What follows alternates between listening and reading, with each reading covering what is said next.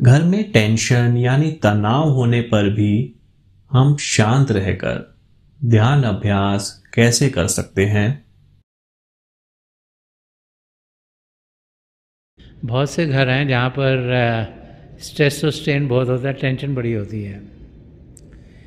क्योंकि आजकल के टाइम में आ, हमारा इंटरेक्शन सिर्फ़ उन लोगों से नहीं हो रहा जो हमारे घर वाले हैं बट उनसे भी हो रहा है जो हमारे घर में नहीं रहते। कनेक्टिविटी इतनी ज़्यादा है टीवी के ज़रिए मोबाइल फ़ोन के ज़रिए इंटरनेट के ज़रिए सोशल मीडिया के ज़रिए, कि बहुत सी चीज़ें हैं जिनमें हम इन्वॉल्व हो जाते हैं। और जितनी ज़्यादा चीज़ों में इन्वॉल्व होंगे और जितने ज़्यादा इनपुट हमारे सिस्टम में आएँगी तो ख्यालात भी उनके अलग अलग होंगे। हर एक इंसान का ख्यालात सेम नहीं होता। और जब ख्यालात अलग अलग हों, करने का तरीका अलग अलग हो तो फिर स्ट्रेस और स्ट्रेन तो हो ही जाता है।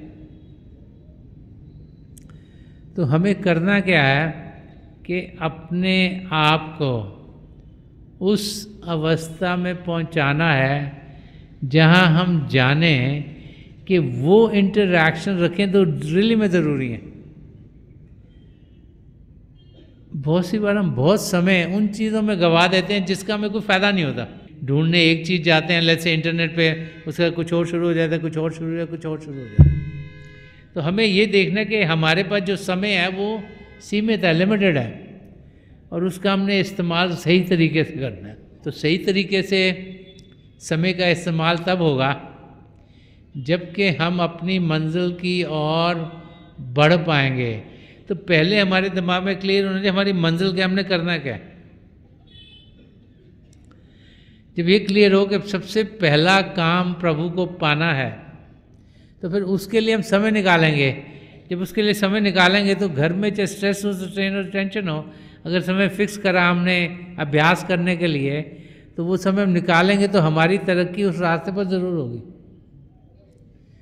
तो पहले हमें समझना है कि करना क्या है, फिर समय देना है ताकि जो हमें करना है, वो हम रोज़ाना करें, बाकायदगी से करें।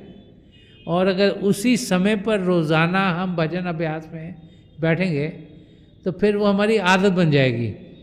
और जब कोई चीज़ हम काफ़ी दिनों के लिए करते हैं, वो फिर खुद ब खुद रोज़ाना होनी शुरू हो जाती है, क्योंकि हमारी आदत वैसे बन जाती है।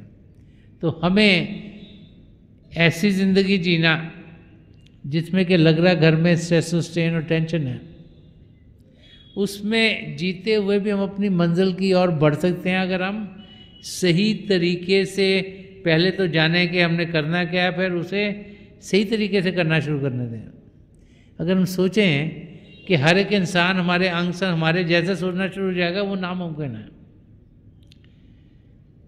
तो किसी चीज़ से जहाँ से हमें हलचल आ रही है, उसे हमने रोकना है, हलचल को बढ़ने नहीं देना। और अगर लेट से कहीं से हमें एंगर आ रहा है, गुस्सा आ रहा है तो हमें रुकना है, हमें और उस गुस्से को बढ़ाना नहीं। तो जिसे फॉरगिव एंड फॉरगेट कहते हैं, चाहे घर में टेंशन हो, चाहे पति पत्नी के बीच में टेंशन हो बाल बच्चों के बीच में टेंशन हो भाई बहन के बीच में टेंशन हो। हमें उसे अपने आप को इफ़ेक्ट नहीं होने देना। हमें उसे रोकना है। हमें पॉजिटिव रहना है। हमने जानना है कि ये मौका हमें प्रभु को पाने का मिला है तो समय उस और गुजारें। बाकी चीज़ें जो हमारा समय ले लेती हैं, जिसमें हम प्रभु की ओर बढ़ते नहीं, वो हमें प्रभु से दूर रखेंगी। तो जो कार्य है हमारा, जो प्रभु को जानना है, पहचानना है, पाना है, वो कार्य हमारा कभी पूरा होगा नहीं।